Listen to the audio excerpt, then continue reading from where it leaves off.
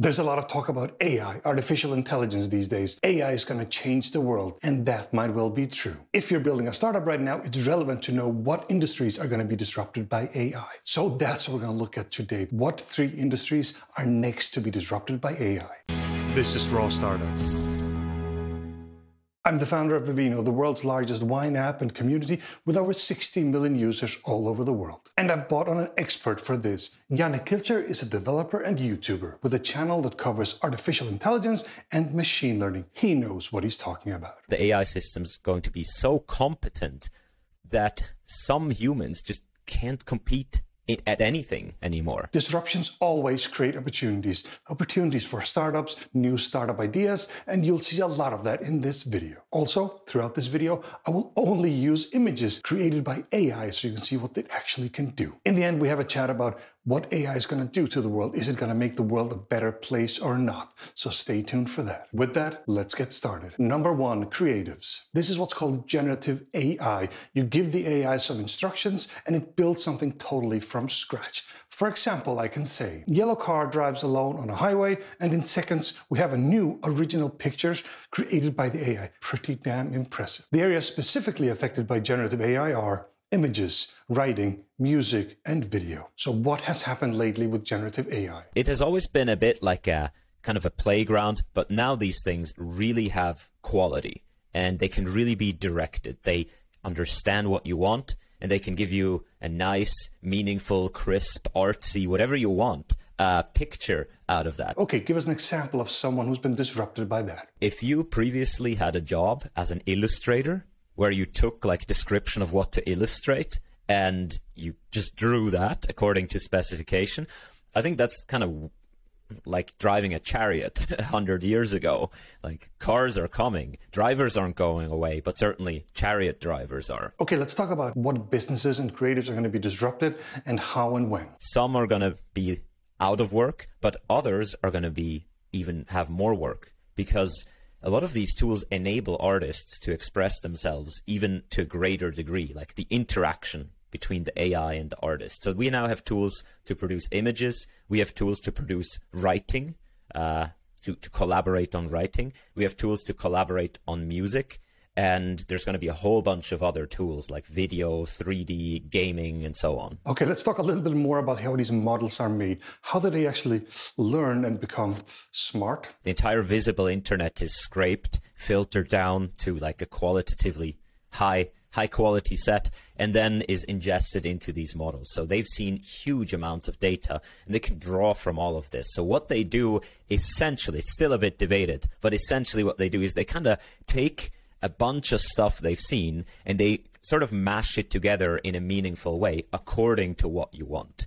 The question, like, some people say that's not really creative, but then the question is do you as a human really do something else? Yes, that is a good question because we also get inspired. We see something and draw something inspired by that. So the difference between how AI is inspired and humans are inspired maybe not that big. I think artists don't need to be worried because I think the essence of art is sort of the kind of abstractive reasoning mixed with maybe a bit of social commentary or just express human emotion in some way.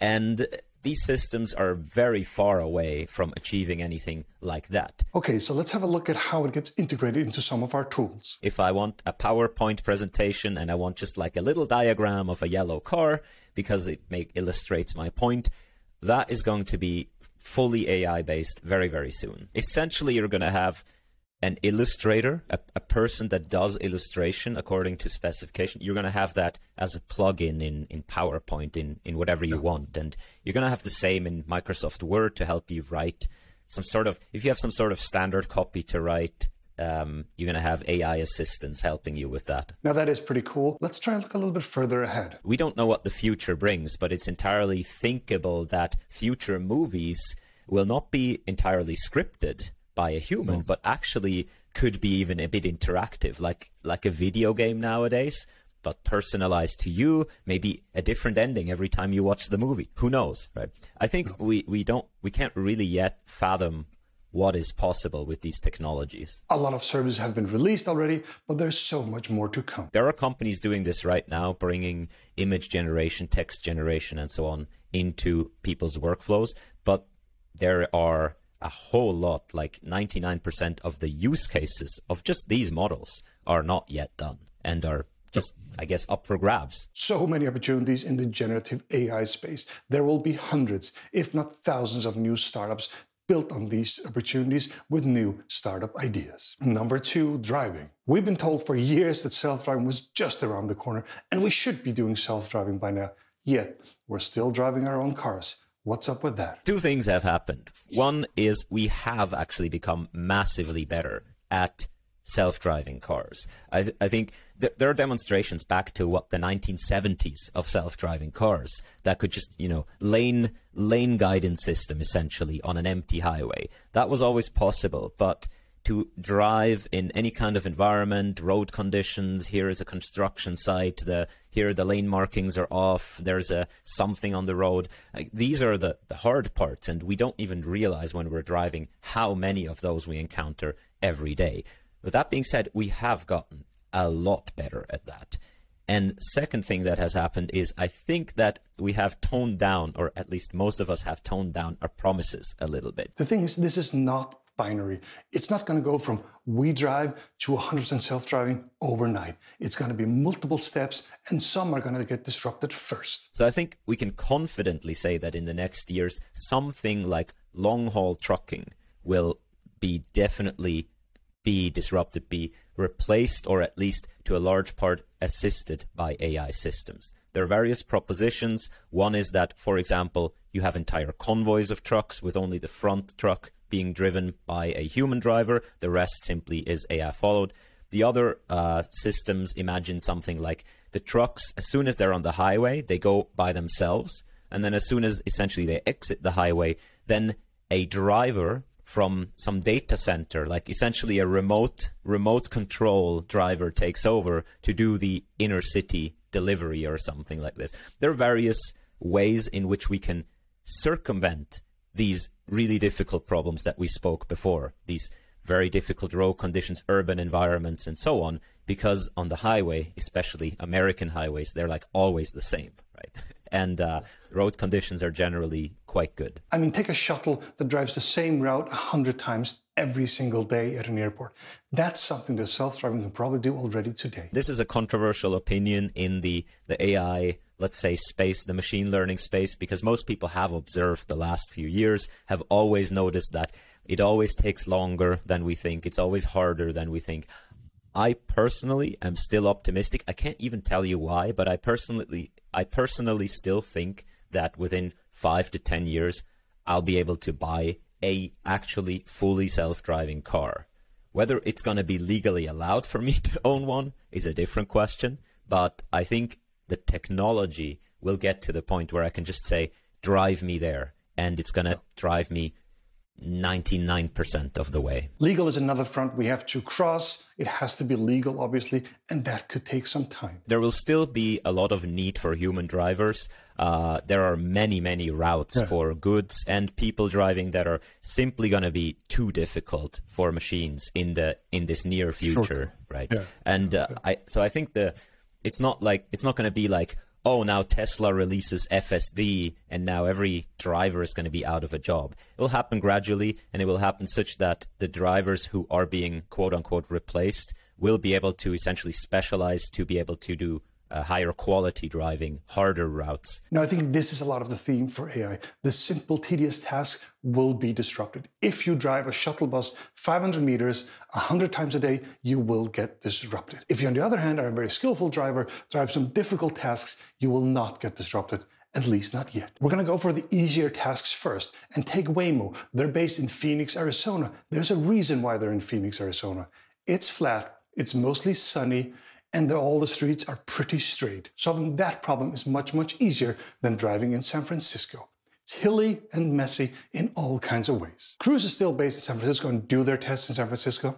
Maybe they just like a challenge. Number three, data entry. A lot of people work in data entry. It usually means taking some data from the real world and putting it into a computer, somehow structuring the data so the computer understands it. And computers usually haven't been very good at that. It's, a very hard problem, and people don't know it's a hard problem. For example, if you have an invoice, you go to a restaurant, you pay with your credit card or something, you get an invoice, even that simple thing from a restaurant or a grocery store, it is actually very hard if for a computer to read that and to understand what's going on. Because to you, everything makes sense. You see like a bunch of numbers, you're like, oh yeah, these are the things I bought. And then you see like some weird number with a lot of comma digits and like, that's probably tax because it's like some percentage of something, right? And that results in a weird number, right? Now, if you simply give this to a computer, the, it's very hard for the computer to understand something like this and extract the information necessary to put into a digital system, like an expense system if you go buy something.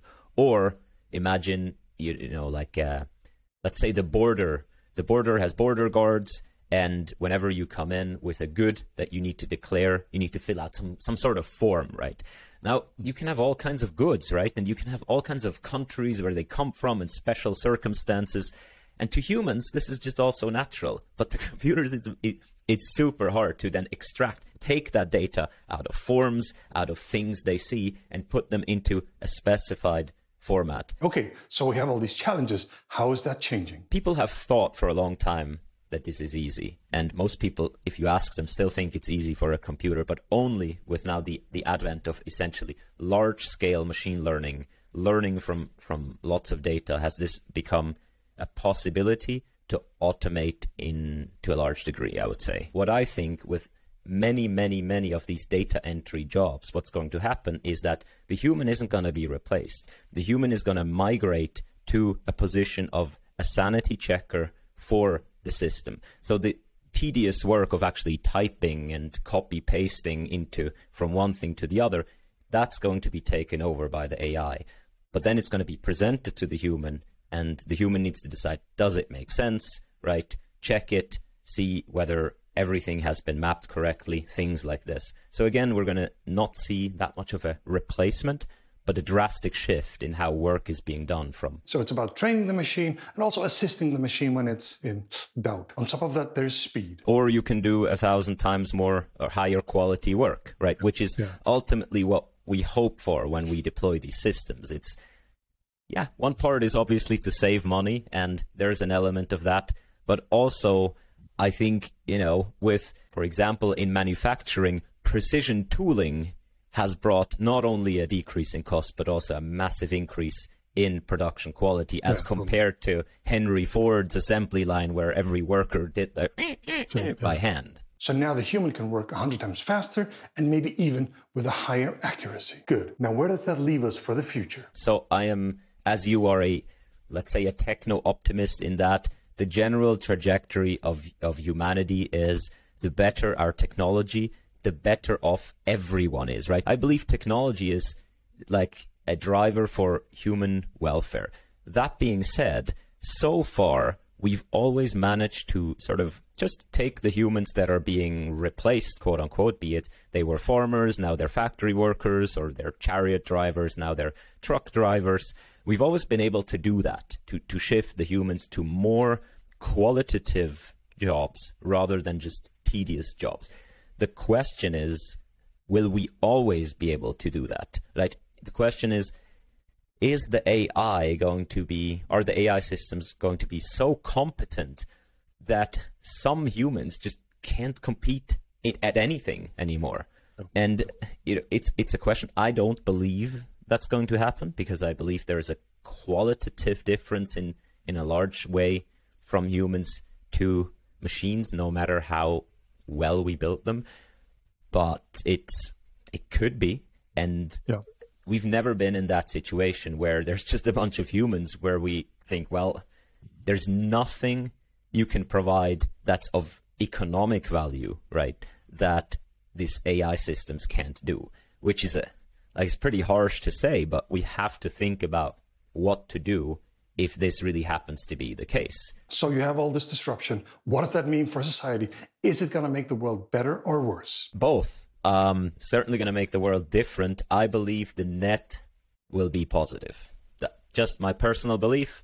I and um, so far for technology in general, this has been the case. Not for all technologies individually, but in general, it has been the case, and I'm very positive, and I can personally see much more positive use cases than negative use cases.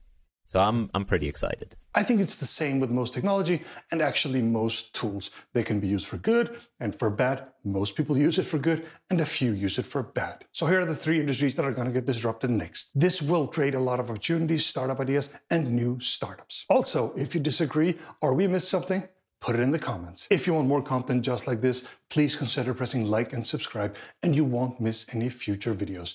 Thank you very much for watching Raw Startup. Now stop watching, go build something.